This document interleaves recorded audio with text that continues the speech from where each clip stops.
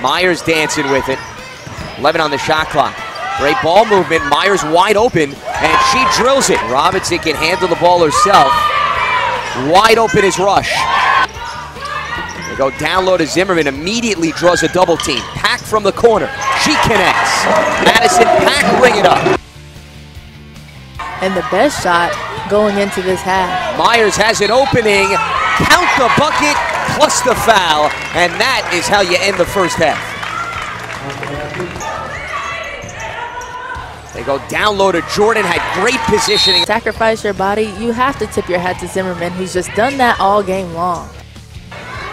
And in all likelihood, both of those teams may very well meet again in the Ivy League tournament.